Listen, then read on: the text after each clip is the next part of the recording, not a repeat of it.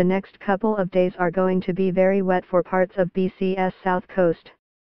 A rainfall warning has been issued for Metro Vancouver, the Fraser Valley and Howe Sound as these regions could get up to 150 mm by Thursday.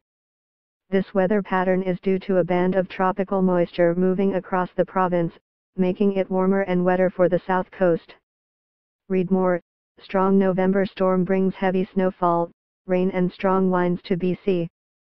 The rain is expected to taper off on Thursday as the system moves inland.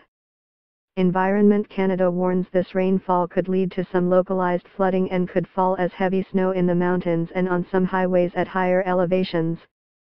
Drivers are urged to be prepared for changing road conditions.